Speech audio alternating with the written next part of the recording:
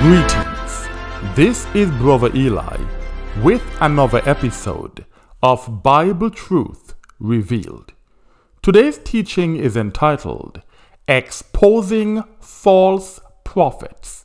That is, exposing false prophets. A prophet is someone that is known to foretell the future. They tell us what will happen in the future before these things happen.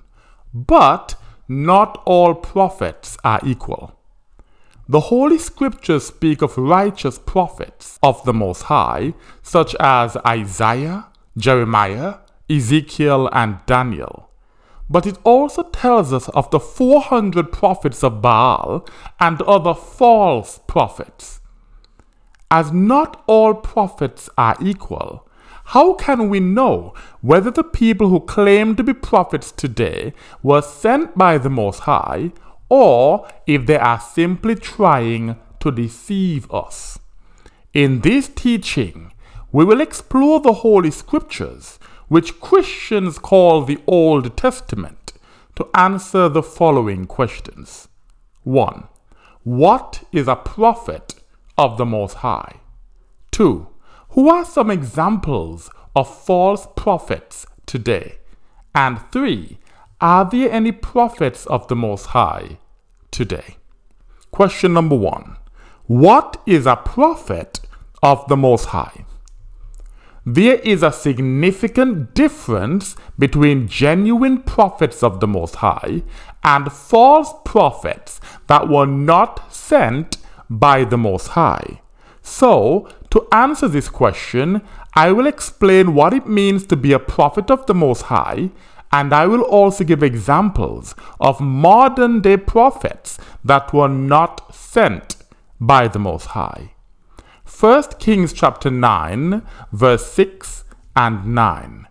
1 Kings chapter 9 in the Septuagint is 1 Samuel chapter 9 in the KJV. So I'm reading 1 Kings chapter 9, verses 6 and 9 in the Brenton Septuagint translation. It reads thus And the young man said to him, Behold, now there is a man of the Most High in this city. And the man is of high repute. This means he has a good reputation, much unlike most people who claim to be prophets today. This man of the Most High did not steal money from his followers. He didn't con them into giving that seed that they like to ask you to sow so that you can get a blessing from the Most High. I love that scripture. It says, when you help those in need, you are lending to the Lord and He will repay you. That's what you do each week or every time you give. You are lending to God, and I know you've seen in your own life, God knows how to repay you. See, God is my business partner, and my giving to Him is His cut. And if I rip off His cut, why should He bless me? I start giving on that level so that God would owe me. If I want to believe God for a $65 million plane, you cannot stop me. Why don't you make a financial vow to the Lord right now while I'm talking to you if you're facing a problem and watch what God will do with you. This was an honest man of the Most High of high repute. It continues All, not some, but all that he shall speak will surely, not maybe, not perhaps, not sometimes, but surely come to pass. All that he shall speak will surely come to pass. This is how we know that we are dealing with a prophet of the Most High. Every single thing that that prophet speaks will surely come to pass. If someone claims to be a prophet, but there's even the slightest thing that that person prophesies that does not come to pass, that is evidence that that individual is not a prophet of the Most High. He or she might be a prophet of another deity. He or she can get their prophecies, their visions from evil spirits, from some other source. But if every single thing that that person prophesies does not come to pass, if only 1% fails, that's all we need to know that we are dealing with someone that is not sent by the Most High. It continues, Now then, let us go, that he may tell us our way on which we have set out. So, a prophet of the Most High is a spokesperson for the Most High.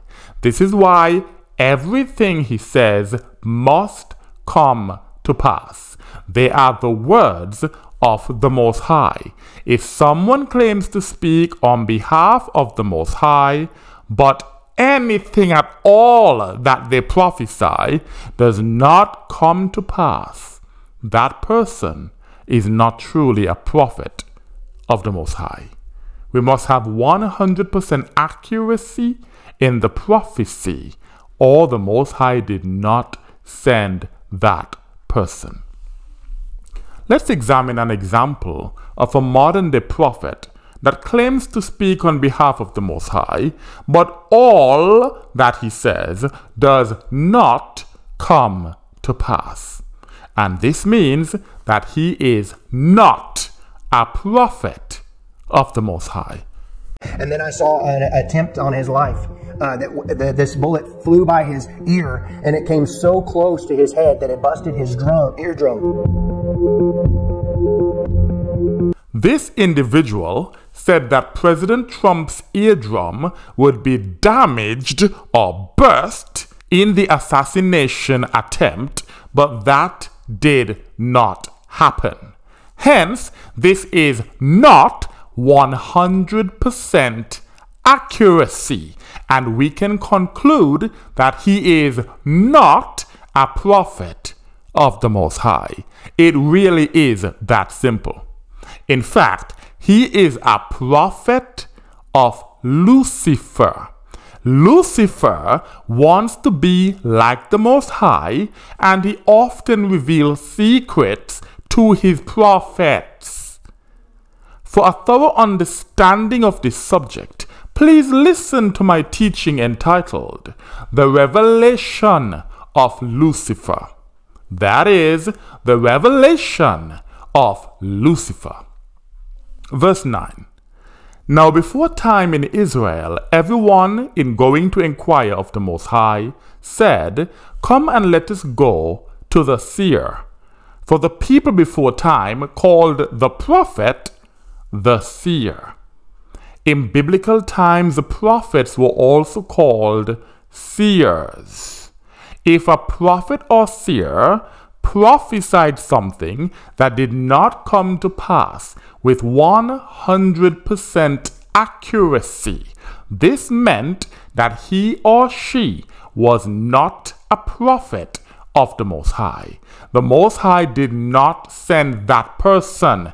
The same is true today. Let's learn more about this in Deuteronomy chapter 18, verse 22. Deuteronomy chapter 18, verse 22 says this Whatsoever words that prophet shall speak in the name of the Most High, and they shall not come true and not come to pass. This is the thing which the Most High has not spoken. The prophet has spoken wickedly. Ye shall not spare him. So the prophet of Lucifer, who claimed that President Trump's eardrum would be burst or damaged in the assassination attempt has spoken wickedly. Again, I'm not denying that this man is a prophet. He clearly received a vision, but it was not 100% accurate. And that's the evidence that he did not receive the vision from the Most High. He received the vision from the one that wants to be like the Most High and sit on the throne of the Most High, the one who has his own prophets who come to deceive the people of the Most High, but by understanding the signs of a false prophet, which means a prophet that was not sent by the Most High, we can avoid being deceived. The reason why President Trump's eardrum did not burst the way that the prophet of Lucifer said it would is because the Most High did not send that prophet. The Most High is not the one that revealed these things to him. Listen closely to this admission. People keep asking, what about the eardrum? You missed it on the eardrum. You missed it on the eardrum. And it didn't bust. Nothing busted about the eardrum. This false prophet has since issued an apology stating that he added the bit about the eardrum and that he shouldn't have done that. However, this so called mistake is the one thing that lets us know that he is not a prophet of the Most High.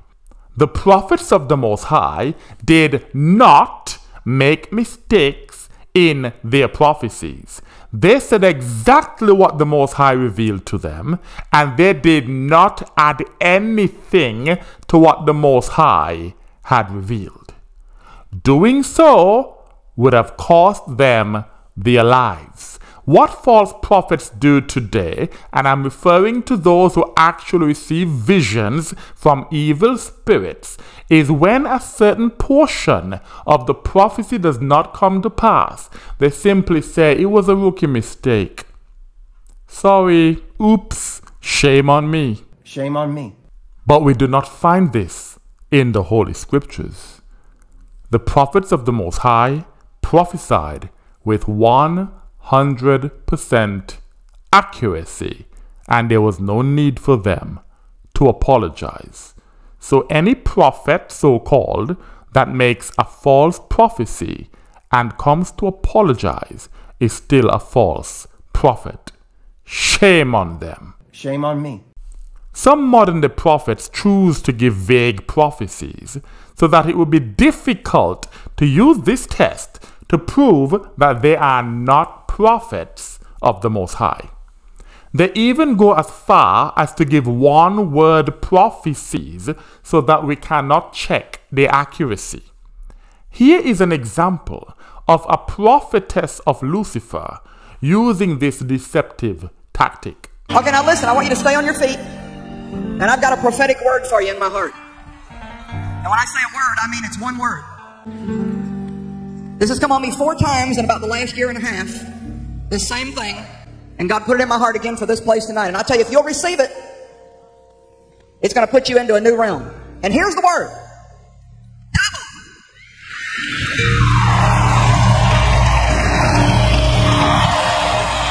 Double, double, double, double, double, double, double.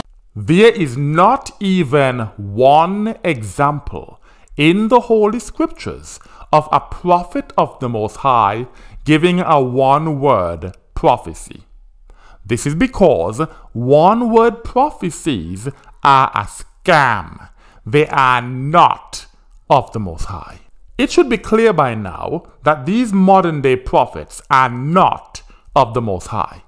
Just like soothsayers, diviners, psychics, voodoo priests, witch doctors, and so forth get their knowledge of the future from evil spirits, it is the same with these modern day prophets. They are not of the Most High.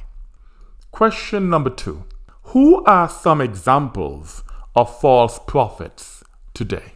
In this section, we will hear from false prophets who claimed that in the year 2020, the Most High told them that President Trump would serve two consecutive terms in office. That's a period of eight years. And that Biden would not become president. We know that Trump did not serve two years in office and that Biden did in fact become president of the United States of America. Therefore, we can confirm that the people we are about to hear from are all false prophets. Watch and listen closely. Some people can't be chosen by God because they can't believe for anything past a week or two weeks. And he assured me back in 2015 that Trump would sit in the White House for eight years. Son of man, do you think that I am going to allow my prophets who prophesied Trump's second term and prophesied what all this goodness coming to this nation to be mocked by a mass media manipulation? The Lord says, No, I shall not. Will President Trump, from what God is showing you, win his second term? Uh, yes, it is, is for sure uh, said that God wants uh, President Trump in. That's not the question. Now, dream three. This gets a little crazy. He came to you again. What, what did he ask you this well, time? the third time was after the inauguration. So he's just starting his this term, the first term. And he comes to me, and, and I got to say, this is one of the most uh, powerful of the three dreams. He came very short, and he said, I want to ask you to be my running mate. That was the phrase, running mate, for the coming election 2020. Four years away. Four years away. Yeah. And that was all there was to the dream, and I woke up. He said, I will win, and Trump will still sit in the White House for four more years. They say, well, Kat, if you prophesied eight years, is it that it's four now and four later? No, no, it is not. It's four continual years. And the Lord says, Son of man, prophesy unto Wisconsin that it will go red for Trump. Prophesy unto Michigan that it will go red for Trump. Prophesy unto Pennsylvania that it goes red for Trump. Tracy, is President Trump going to have a second term? Well, it's, it's the same thing similar to Kevin, yes. That in two weeks, we will know without a shadow of a doubt the victory has been won. And the Lord spoke to me and he said, What I intend to do through him, it will take two terms to do. These are all false prophets. We must not listen to them because the Most High did not send them. Let's hear what the Most High said about false prophets in Jeremiah chapter 23, verse 16 and verses 25 to 26. That's Jeremiah chapter 23, verse 16 and verses 25 to 26. It reads thus Thus saith the Most High Almighty, Hearken not to the words of the prophets. This means do not listen to these false prophets, for they frame a vain vision for themselves. They make up things and claim that the Most High revealed it to them. This is the vain vision that they frame. They speak from their own heart and not from the mouth of the Most High.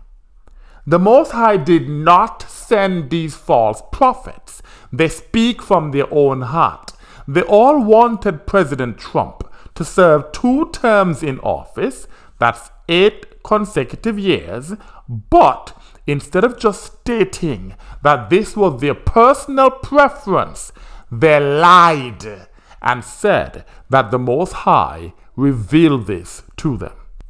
This was simply an attempt to manipulate their followers into voting for Donald Trump. Let's hear some more before I read verses 25 and 26. I believe the word of God. I believe the prophets. I know a few that are absolutely accurate. I, I would be shocked if they ever made a mistake. And, and all of them are saying President Trump has won. So woe is me if I take another position than what God is speaking through the prophets. This shameless conman just claimed that he knows a few prophets that are absolutely accurate and that he would be shocked if they ever made a mistake. Yet, we now know that they are all false prophets. They all prophesied that Trump would serve two consecutive terms in office. That was a false prophecy. Now let's read the other verses. Verse 25 I have heard what the prophets say, what they prophesy in my name. They prophesy in the name of the Most High, saying falsely. So they lie. I have seen a night vision. They haven't seen a thing. They made it up. How long shall these things be in the heart of the prophets that prophesy lies? These are all liars. When they prophesy the purposes of their own heart. The question could be asked what if their prophecies had come to pass with 100% accuracy? Would this mean that they are prophets of the Most High? The answer is no. This is because all the modern day prophets that we have seen so far are idolaters who serve the false god and idol called Jesus, whereas all the prophets of the Most High serve the Most High only. Let's read Deuteronomy chapter 13, verses 2 to 4. Deuteronomy chapter 13, verses 2 to 4 reads thus And if there arise within thee a prophet, or one who dreams a dream, and he give thee a sign or a wonder, and the sign or the wonder come to pass, which he spoke to thee, saying, Let us go and serve other gods, which ye know not. Ye shall not hearken to the words of that prophet or the dreamer of the dream, because the Most High tries you. He's testing you to know whether you love the Most High with all your heart and with all your soul. So this means that even if the words of the prophet come to pass with 100% accuracy, if he tells us to serve gods that our forefathers, such as Abraham, Isaac, Jacob, Moses, David, and so forth, did not know, we must not listen to that prophet. It is a test from the Most High to see whether we truly love Him or whether we are going to follow that prophet. The Most High sometimes allows false prophets to have accurate prophecies to see whether we would follow the false prophet to serve his God or whether we would continue to serve the Most High only. False prophets lead us to go and serve other gods which our forefathers did not know. Our forefathers did not know Jesus, the false god and idol of our Christian slave masters. Yet this is the God of all the false prophets that we have seen so far in this teaching. This means that even if they were to give an accurate prophecy, we should immediately recognize that it is a test from the Most High to see whether we will be led astray from serving Him only. Anyone that follows a prophet that does not serve the Most High only has already failed this test. Judgment is coming. So repent before it's too late. I'm only here speaking for Jesus. Pay me no mind. Now let's expose yet another false prophet. Can you hear me, Sarah? Sarah? Yes, Sarah. Sarah? Yes, yes, Mama. The Lord told me there's someone that you are connected to. Like Tanya? Do you know somebody named Tanya? Tanya. Starts with a T. Is it Tana? Tana is your mother? Prophesy. Prophesy. Sarah, huh? Sarah, we gotta pray. We gotta pray because as I was meditating, there's something God showed me. And today we're gonna stop the work of the enemy, every plan of the enemy that is against your household. We're gonna bind it today in the mighty name of Jesus. In the name of Jesus. Because I saw this woman before me and I saw her fall out in seizure. And I saw the spirit of death coming to take her away. But the Lord says, if we pray and cancel it today, your mother shall live and testify the goodness of the Lord. This false prophet has just said that death is coming for the caller's mother. But if they pray, her mother will, and I quote, live and testify of the goodness of the Lord. End of quote. To be clear, she said that death was coming for this person's mother. But if they prayed, they could stop death from taking this woman. The woman would live and not die. Let's see what happens next. Say that again, Sarah. How's your mother's health? My, uh, my mom, she passed away in uh, 2009. How do I see that then? And I saw the spirit of death coming to take her away. But the Lord says, if we pray and cancel it today, your mother shall live and testify the goodness of the Lord. When this false prophet realized that her vision was dead wrong, her immediate response was, How did I see that then? The answer is that the false vision was given to her by the evil spirit that is known in Christian churches as the Spirit of Christ. This is the evil spirit that deceives Christians into thinking that they are hearing from the Most High, although they do not keep His commandments. Proverbs chapter 28, verse 9 says, He that turns away his ear from hearing the law, that's the commandments of the Most High, even he has made his prayer abominable. If your prayer is an abomination, it means that the Most High will not regard it. Therefore, the Most High is not dealing with these Christians because they are not keeping His commandments. This is how we know that Christians are receiving their visions not from the Most High, but from the abominable spirit of Christ. For details and evidence of this, please listen to my teaching entitled The Spirit of Christ is Demonic. That is, the Spirit of Christ is demonic. Question number three Are there any prophets of the Most High today? It's going to be done by the mouth of the prophets that God is going to send back on the earth. And they're going to fight against us. But they don't understand it's not one of us, it's many of us.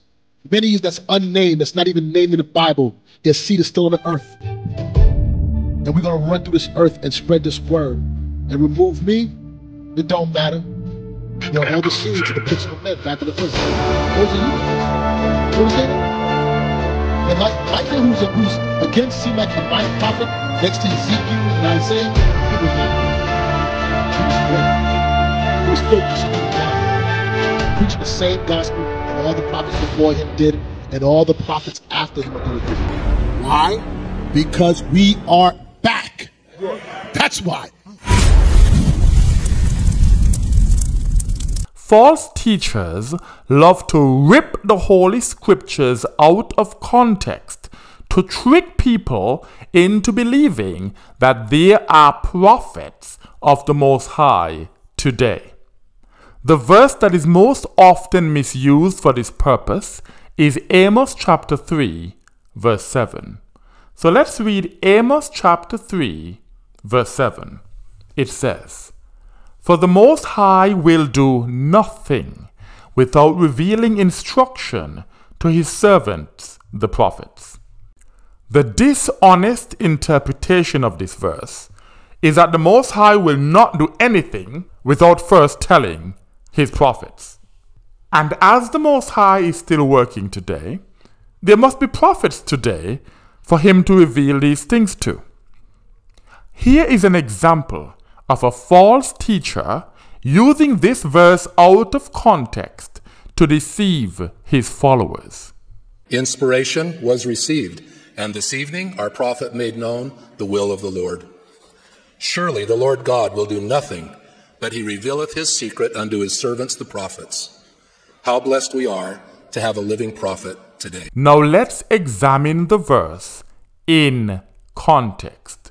To do so, I will read verses 1 to 2, verses 6 to 7, and 13 to 15. That's Amos chapter 3, verses 1 to 2, 6 to 7, and 13 to 15. That's how we get context. We read before and after the verse. Verse 1 says, Hear ye this word, O house of Israel, which the Most High has spoken concerning you, and against the whole family whom I brought up out of the land of Egypt, saying, You especially have I known out of all the families of the earth. Therefore will I take vengeance upon you for all your sins. The context of this chapter is the Most High's vengeance or punishment upon the house of Israel for their sins. Much like the Christian church today, the Israelites were in sin. They were refusing to keep the commandments of the Most High. This is why he told them by means of the prophets that destruction or punishment or vengeance was coming. Verse 6 Shall the trumpet sound in the city, and the people not be alarmed? Shall there be evil in a city? The evil in the city is the vengeance that we read about in verse 2, which the Most High has not wrought. He threatened vengeance on the people. The evil in the city is coming from him. This is the vengeance for the sins of the house of Israel. Verse 7 For the Most High will do nothing, meaning he's not going to bring vengeance upon the people without revealing instruction to his servants the prophets without telling the prophets in advance that destruction was coming so that the prophets could warn the people to repent from their sins. This is a context. It's simply saying that the Most High always reveals instruction to his prophets before unleashing vengeance upon the house of Israel. We see this time and time again throughout the Holy Scriptures. Before the Most High scattered the Israelites into captivity, He always sent His prophets with instructions to warn the people to repent. This does not apply to us today because we are already in the lands of our captivity. We don't need a prophet to tell us to repent so that we don't go into captivity. We are in captivity. So this verse is not evidence that there are prophets of the Most High today. Everything we need to know to get delivered from the lands of all captivity has already been revealed in the Holy Scriptures. So we do not need and we do not have prophets of the Most High today. To confirm that this is the correct understanding of this passage, let's read verses 13 to 15, which demonstrate that this is about the prophets warning the house of Israel to repent before vengeance was poured out upon them.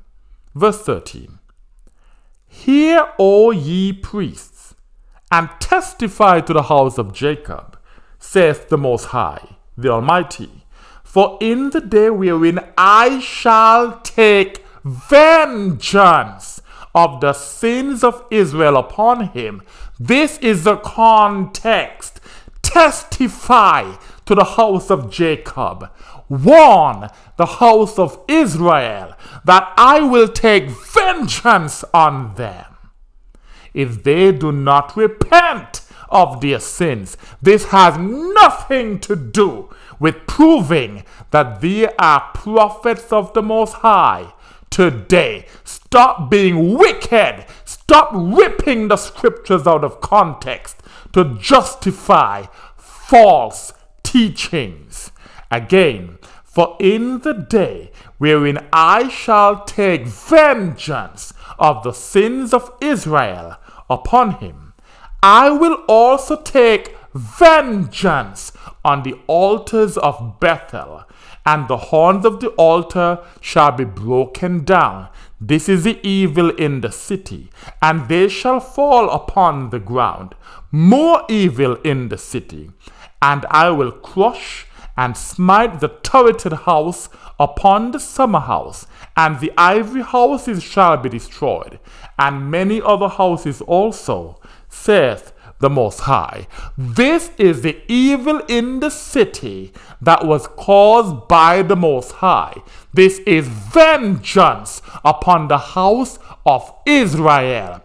Shall the Most High wreak vengeance on the house of Israel without giving instruction to his prophets to warn the house of Israel to repent from their sins?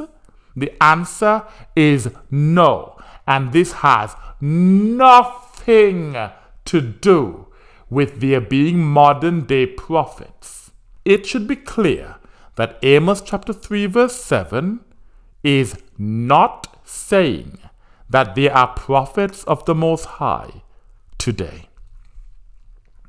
Now let's read a prophecy that is truly about the latter days. And we know it's about the latter days because it literally tells us that it's about the latter days. This is the book of Hosea, chapter 3, verses 4 to 5. That's Hosea chapter 3, verses 4 to 5 and it says, For the children of Israel shall abide many days without a king, and without a prince, and without a sacrifice, and without an altar, and without a priesthood, and without manifestations.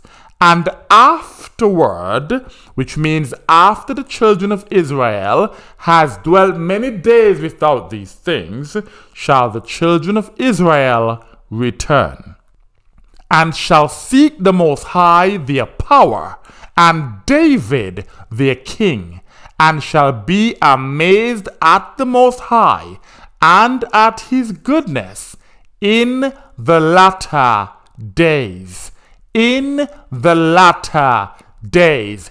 This is how we know that this is a latter day prophecy. It literally tells us that these things will take place in the latter days. We are now in the latter days, so let's try to get the understanding of what this is saying and how it answers the question of whether or not they are prophets of the Most High today. Verse 4 again. For the children of Israel shall abide many days without a king, and without a prince, and without a sacrifice, and without an altar, and without a priesthood, and without manifestations. What does it mean without manifestations?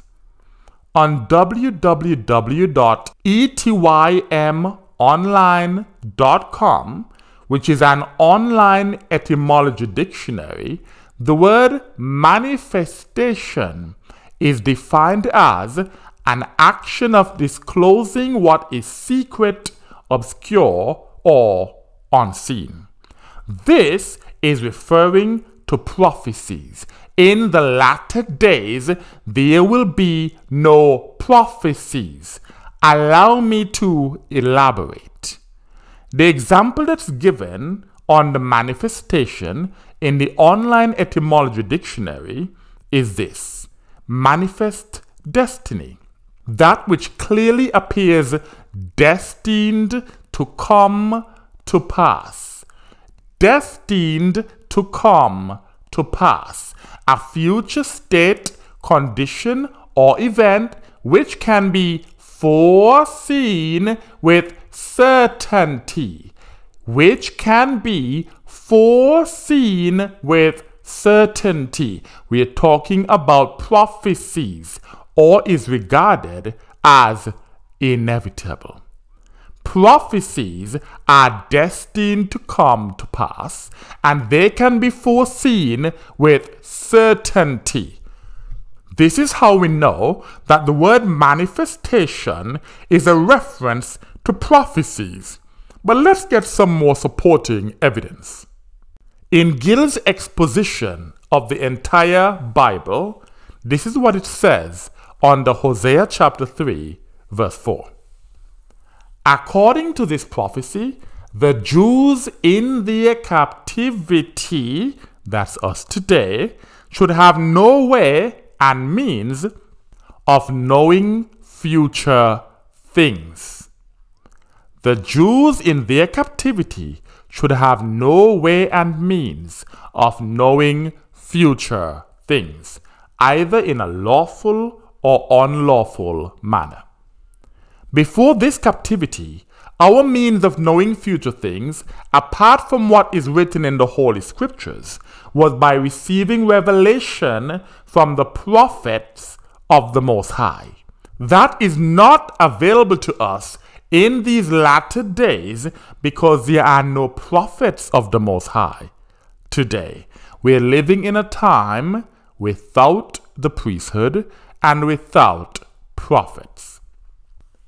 The Benson commentary on the Hosea chapter 3 verse 4 says this God would deprive the Jews of the principal offices, for the enjoyment of which they chiefly valued themselves, namely that of the priesthood and that of prophecy. So this tells you explicitly that Hosea chapter 3 verse 4, when he speaks of manifestations, is talking about prophecy. The Most High would deprive his people of prophets in the last days.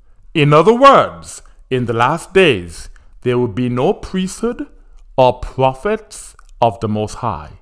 This means that anyone who claims to be a prophet of the Most High in these last days is a liar. You would never get this understanding from a Christian Bible, by the way, because Christian Bibles, such as the KJV, were designed to deceive the masses. This is what Hosea chapter 3 verse 4 says in the KJV. For the children of Israel shall abide many days without a king, and without a prince, and without a sacrifice, and without an image, and without an ephod, and without teraphim. This meaningless verbiage hides the fact that both the priesthood and prophecies would cease in this final captivity. Meaning, we have no priesthood in this captivity. We have no prophets of the Most High in this captivity. For details of more deception and cover ups in Christian Bibles, please listen to my teaching entitled The Truth about the King James Bible. That is, the truth about the King James Bible. There are no prophets of the Most High in these latter days. Therefore, anyone who claims to be foretelling the future in the name of the Most High is either making it up or getting their information from evil spirits, as this is how soothsayers, diviners, psychics, voodoo priests, witch doctors, and so forth get their knowledge of the future. And the Most High tells us not to deal with them. This practice of getting this future knowledge involves lots of rituals and cult practices. Listen closely.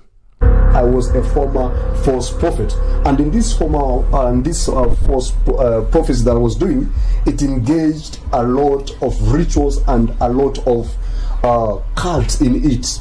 Again, the practice of getting knowledge of the future from these evil spirits involves lots of rituals and cult practices.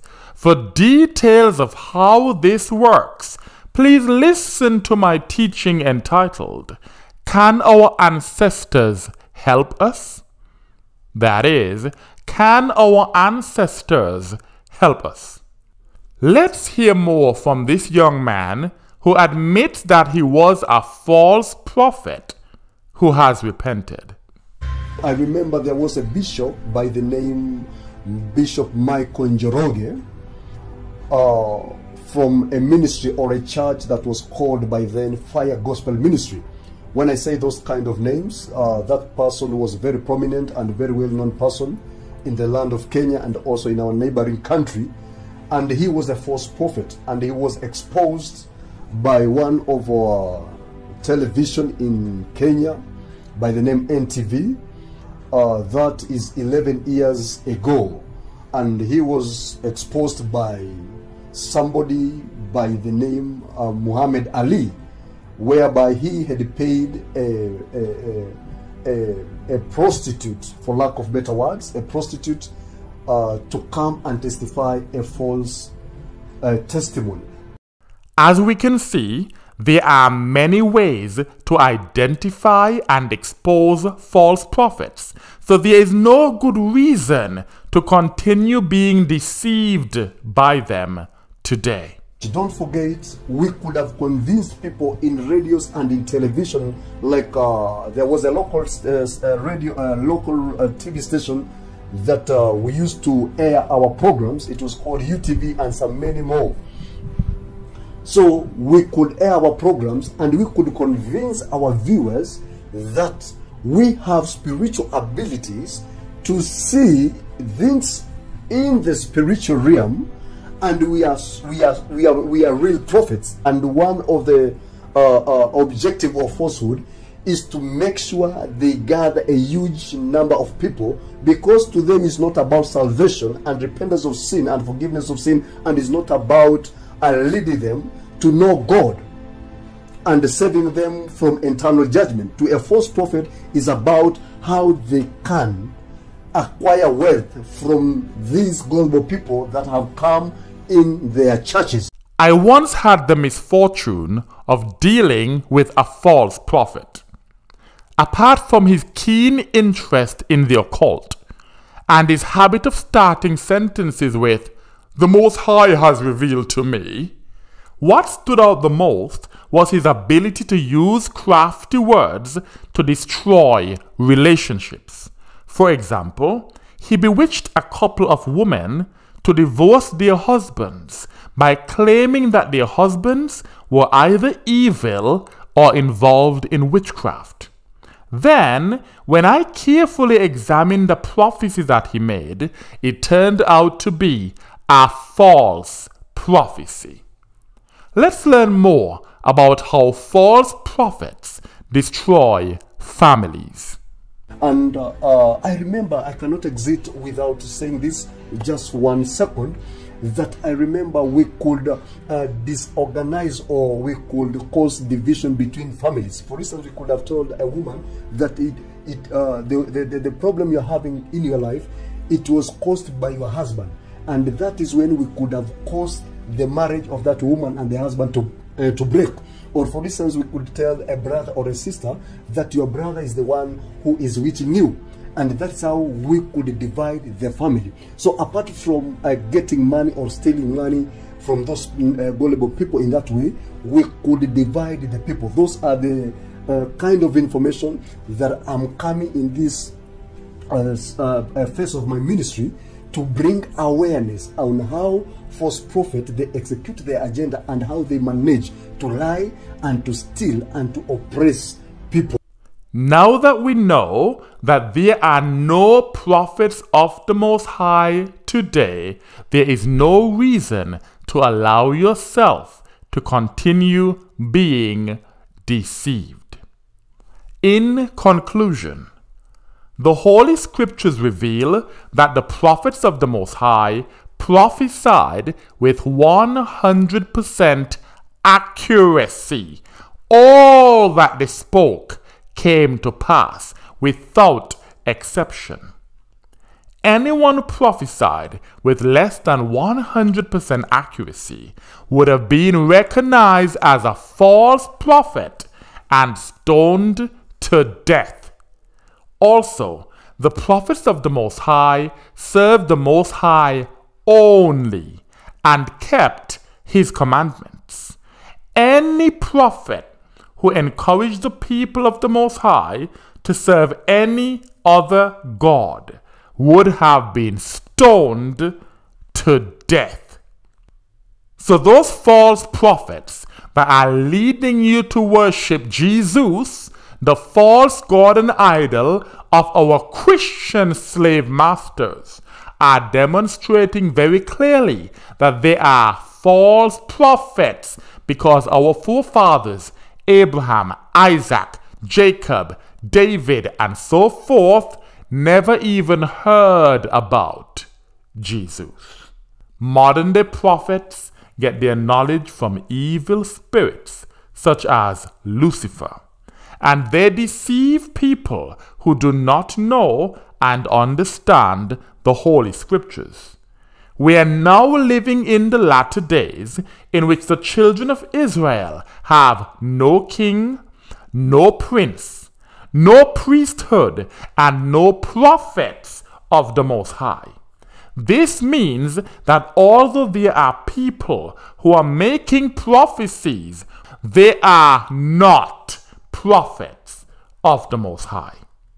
Instead of allowing false prophets to lead us astray, we need to return to the Most High only, keep His commandments, and patiently await our deliverance from the lands of our captivity. Do not fail this simple test. And with that, I say, Shalom.